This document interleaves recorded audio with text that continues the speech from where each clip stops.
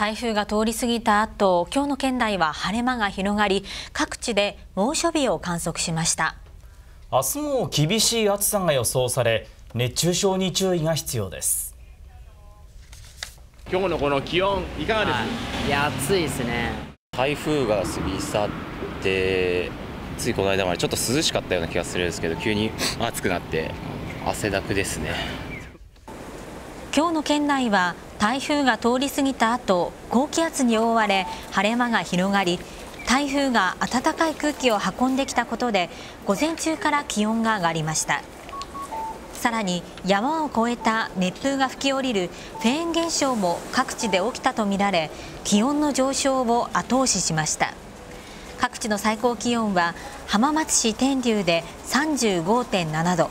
川根本町で35.2度と猛暑日を観測。